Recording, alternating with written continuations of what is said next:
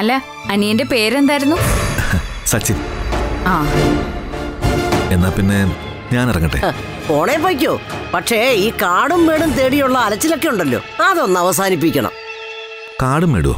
അതെന്താ മച്ചി അല്ല ഈ ആദിവാസിക്കാരെയൊക്കെ അന്വേഷിച്ചുള്ള നടപ്പൊക്കെ. അമ്മച്ചി ഇത് വിട്ടില്ലല്ലേ? റീത്തെ ഇനിയിപ്പോ താൻ അങ്ങോട്ട് വന്നിട്ട് കാണാം. ഞാൻ എന്തായാലും ഇങ്ങോട്ട് വരുന്നില്ല. എടാ കൊച്ചനെ ഞാൻ എന്തെങ്കിലും പറഞ്ഞതിന്റെ പേര് നീ വരാതിരിക്കണ്ട. എന്റെ ഒരു രീതി ഇങ്ങനെയാ. അതങ്ങ് അഡ്ജസ്റ്റ് ചെയ്ത് പോയാ മതി. ഒരു കുഴപ്പമില്ല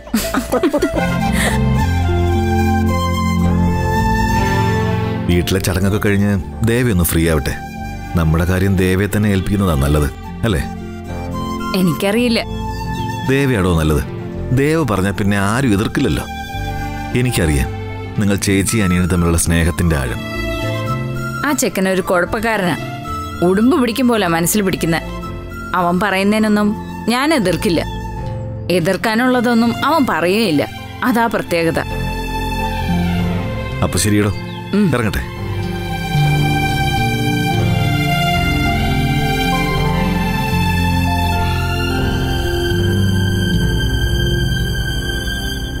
പോവാ